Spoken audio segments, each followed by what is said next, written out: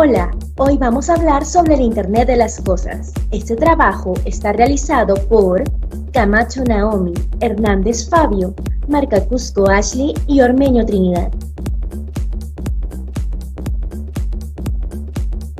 ¿Qué es el Internet de las Cosas? Es un objeto que se refiere a una interconexión digital de objetos cotidianos con Internet.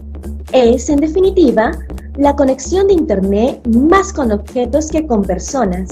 También se suele conocer como Internet de todas las cosas o Internet en las cosas. Si los objetos de la vida cotidiana tuvieran incorporadas etiquetas de radio, podrían ser identificados y gestionados por otros equipos de la misma manera que si lo fuesen por seres humanos. Los ordenadores actuales y por tanto Internet son prácticamente dependientes de los seres humanos para poder recabar información. La mayoría de datos disponibles en Internet fueron inicialmente creados por humanos a base de teclear, presionar un botón, tomar una imagen digital o escanear un código de barras.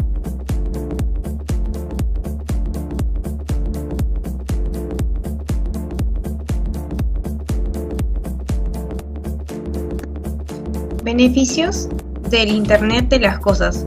Objetos tan cotidianos como electrodomésticos, vehículos, ropa o semáforos tendrán la capacidad de conectarse a Internet de manera mayoritaria en un futuro inmediato.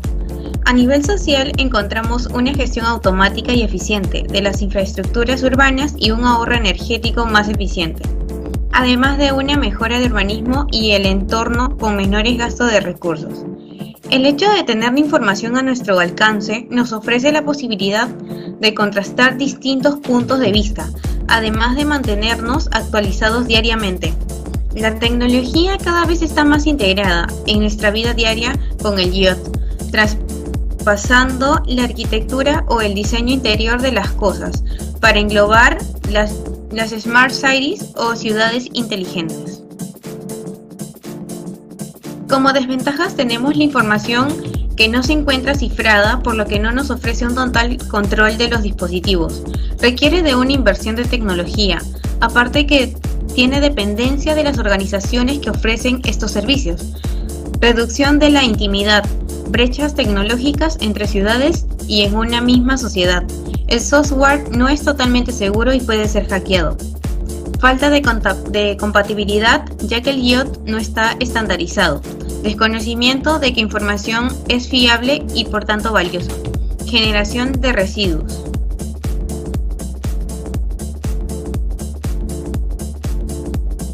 Entre los siguientes ejemplos tenemos los botones inteligentes.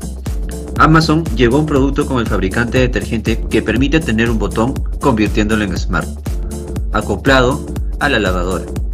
De esta manera, cuando falte el producto, tú puedes comprar solo con pulsar el botón. Amazon recibe la orden de compra y la envía directamente a tu domicilio. Sensores para el jardín. La compañía Parrot ofrece el sensor Flower Power, destinado a los jardines, que registra datos sobre la luz solar, la temperatura, el nivel de fertilizante en el suelo y la humedad. De esta manera, el sensor analiza lo que necesitan las plantas y envía las alertas por medio de Bluetooth. Puertas de, garaje inteligente. Este otro ejemplo muestra un dispositivo que puede controlar el acceso al garaje mediante una aplicación. Desde tu celular puedes abrir y cerrar, así como recibir alertas cuando ésta se abre.